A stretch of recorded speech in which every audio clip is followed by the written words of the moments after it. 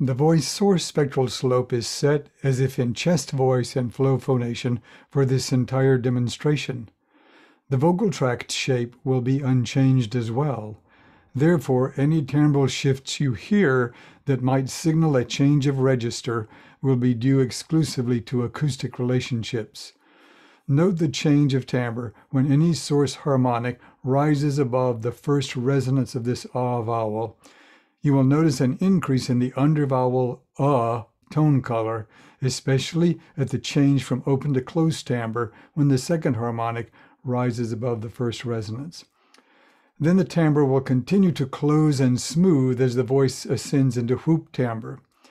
Though the source spectral slope remains characteristic of chest voice, the timbre will seem to be that of head voice.